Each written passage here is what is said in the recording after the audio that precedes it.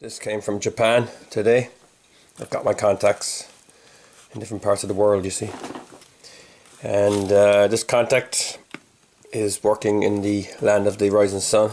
And he sent me this HF10, my Sony. Sony 64 CD IX2. And Sony 74 CDIX 2 Sony 54 mm, it's a nice tube. um, Sony HF 20 um, these ones are um, Daiso um, it's a twin pack of 74s and they're normals.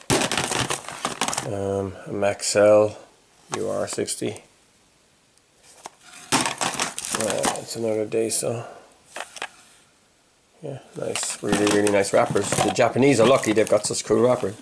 It's an AE60 TDK.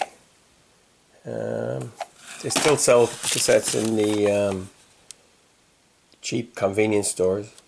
AE30. There you go. Um, this is an AE46. Yeah, that's good. There's some mini discs here. Um, 10 um, Sony Basics. And these are um, Sony Basics 74. And there's a couple of packets of chewing gum inside there as well. Fitzlink and this. No time. No time. I got no time I've got no time to chew it. Anyway that's it. That's the um, tape stash from Japan